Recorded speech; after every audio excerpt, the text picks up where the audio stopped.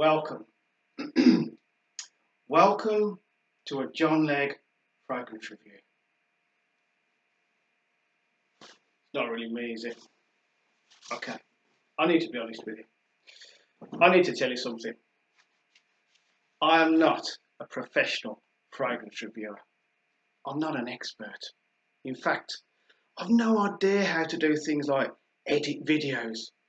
In fact, someone sent me a message recently and said, Leggy, can you put a timestamp on your video so I can find different things? And I'm like, not only do I not know what that means, I haven't got a clue how to do it.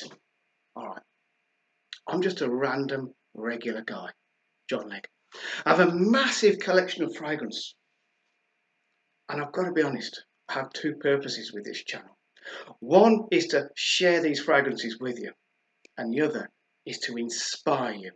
Inspire you to wear a good fragrance every day. If you can put it with the downsides, the non-flashy videos, the non-things that pop up and down, all the different sounds, if you can put it with that and the fact I'm not on InstaSnap or Faceagram at all, I'm not on any social medias, I'm just on here on YouTube. If you can put it with the sort of basics of this channel, stick around and you'll get a fun, light-hearted take on fragrances and you'll get an open-hearted, honest review. You know, every single fragrance that I tell you about, it's based on my experience with these fragrances. It's based on how they perform on my skin. And I'll never stand there and read a, a rattle off a list of notes that I found on the internet. That, that's pointless. I will tell you if it's a rosy, if it's a fruity, if it's a vanilla sort of fragrance. I'll tell you what to expect and I'll tell you about the performance. But I'm not a professional reviewer, so please cut me a little bit of slack. Right, First of all, a massive welcome to a Johnny Legg fragrance review. You are so welcome to this channel. This channel is a hobby, it's fun, and it is real. So let's do it. Let me tell you about, not tell you, let me talk to you about a fragrance which is in my top sort of five of summer fragrances. Dolce & Gabbana K, it's the Eau de Parfum you know what? This is a sort of a fruity, citrusy, sort of almost goes towards an old school barbershop sort of soapy sort of fragrance over some nice sweet woods and a little bit of cinnamon and that sort of thing. And then at the base, you've got some beautiful amber and you've got some earthy notes. I've got to spray because I'm a massive, massive fan of this one. Okay. This is such a well organised fragrance. There's a load of notes in this one. It's almost note heavy, this is, the amount of notes in it. But there isn't a single note that puts a foot out of place. And therefore, it is a very creamy. You know, the citrusy, fruity at the top, it's creamy. And the middle is kind of cinnamony and it's cedar woody and it's beautiful in the middle. And at the base, the amber sort of does the base nicely, sort of thing. And there's, there's a few few earthy sort of notes in there. And even the earthy notes, they're not skanky, dirt, dirty sort of earthy notes. They're creamy earthy notes. This is so well organised. It's a polite fragrance. It is a beautiful take on a citrusy, woody, fragrance and there's also a lot of vanilla in there which probably smooths the whole lot over it is an incredible fragrance it's classy it's gentlemanly and it's summery and all right, I'll be honest with you, on my skin, for about four, maybe four and a half hours, I get a nice steady projection and people comment because it is, it's a lovable, totally lovable summer scent.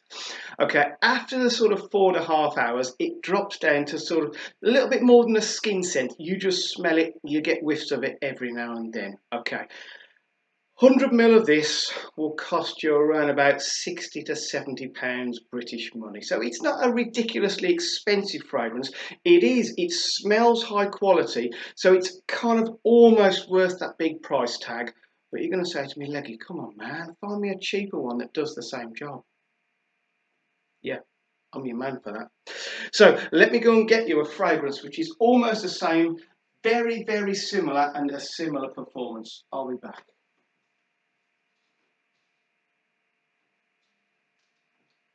Okay, so it's a Lattafa. You know what? Look at that bottle. That is Ra'ed. Now you've got to be careful because there's about three or four in the range and they all have different colour caps. This is the blue clap. clap. Cap, come on, leggy. Right, this cap's too tight, probably. Right, okay, so this is the blue cap. It is called Lattafa's Ra'ed Luxe. Okay, this thing, 100 mil, will cost you around about £15 eBay British money. Let me tell you that it's almost the same.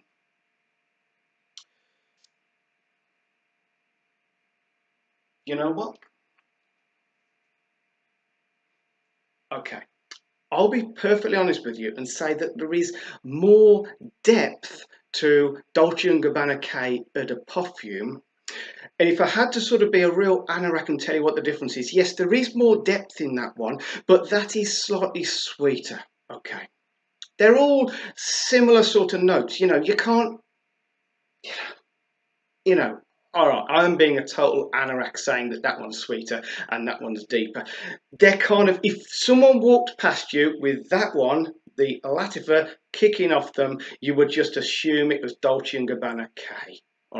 They are that, that close. Okay, what about the performance on the Lattafa? Because this is almost exactly the same. On my skin, I almost get exactly the same four hours of a scent bubble that projects off me steadily.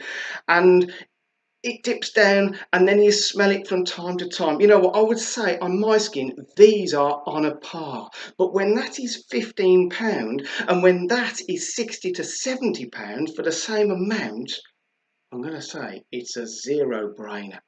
That one is the one to buy. Okay, so is there any downside to this?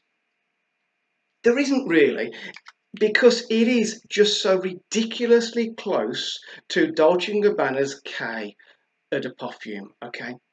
Yes, it is slightly sweeter, and yes, if you were going to be really picky, you would say it didn't have the same depth.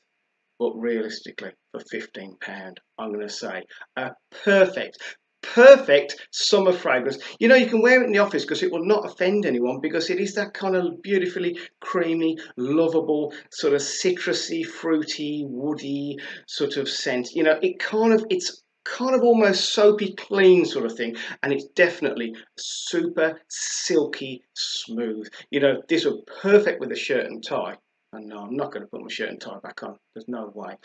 This will go perfect with a shirt and tie. It's perfect maybe with a, a uh, jeans and a t-shirt. You can. It's very versatile. I would say in, it's not quite a teenage fragrance because it's got that maturity to it. I would say maybe sort of 20 plus in terms of a guy. Yes, it's very manly, but I would imagine it's marketed as unisex. But being as it's sort of a clone of a men's fragrance, I sort of see it as a men's fragrance. But you know what, as a woman, if you want to wear it, why not? It's that beautifully lovable, citrusy, woody, earthy, creamy, beautiful, well organized, very well disciplined, polite fragrance. Now, I'd love you to come back to this uh, channel again. I'd love you to see. I'd love to see you on the next review. So, in the meantime, I'd love you to stay safe. I'd love you to spray fragrance every single day every single day. You know, put it on before you go to work. Put it on while you're at work. Stick it in your bag. Chuck it on at lunchtime again. Keep one in the glove box of your car and spray fragrance all the time. Take care. I'll see you next time. Goodbye.